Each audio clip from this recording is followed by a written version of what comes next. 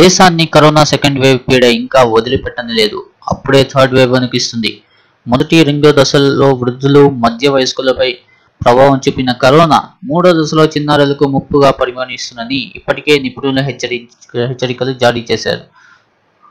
దేశంలో కొన్ని రాష్ట్రాల్లో థర్డ్ వేవ్ ప్రభావం కనిపిస్తుంది. మహారాష్ట్రలోని అహ్మదానగర్ జిల్లాలో ఎనిమిది వేల చిన్నారులకు కరోనా సోకినట్లు రావడంతో అందరూ ఉలిక్కి పడ్డారు తాజాగా ఆంధ్రప్రదేశ్లోను ఆంధ్రప్రదేశ్లో గత రెండు వారాల్లో సుమారు రెండు పాయింట్ మూడు లక్షల కరోనా కేసులు నమోదు కాగా వీరిలో ఇరవై మూడు వేల తొమ్మిది వందల ఇరవై మంది పద్దెనిమిదేళ్ళలోపు పిల్లలు ఉండడం ఆందోళన కలిగిస్తుంది.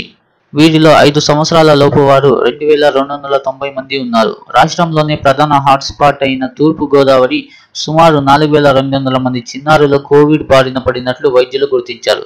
చిత్తూరు జిల్లాలోనూ సుమారు మూడు వేల ఎనిమిది వందల మంది పిల్లలు కరోనా సోకినట్లు తెలుస్తుంది. అయితే థర్డ్ వేవ్ పై ముందుగానే అప్రమత్తమైన ఏపీ ప్రభుత్వం అందుకు అనుగుణంగా స్పెషల్ ఫోకస్ పెట్టింది.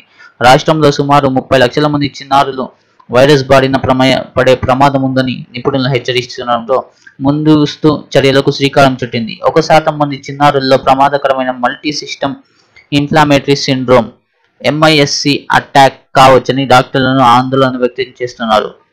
చిన్నారులకు మెరుగైన వైద్య సేవలు అందించడానికి ప్రభుత్వం ఇప్పటికే ప్రత్యేక వార్డులు సిద్ధం చేస్తోంది.